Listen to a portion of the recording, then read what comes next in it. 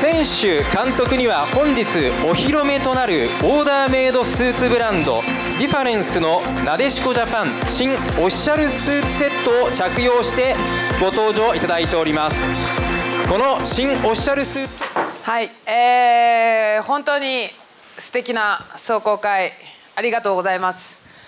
えー、皆さんの応援をパワーに変えて女子サッカーの未来のために私たちが世界で戦えるっていうところを証明していきたいと思っています。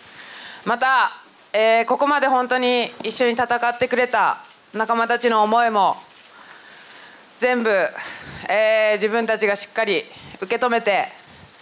このメンバーに選ばれた責任と誇りを持ってワールドカップ戦っていきたいと思います。今日は本当にありがとうございました。そしてワールドカップの応援よろしくお願いします。